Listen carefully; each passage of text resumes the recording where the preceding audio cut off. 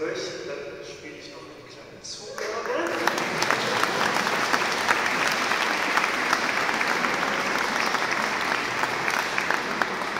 Und da spiele ich die Toccata aus der Suite Gothique von Leon Moyer.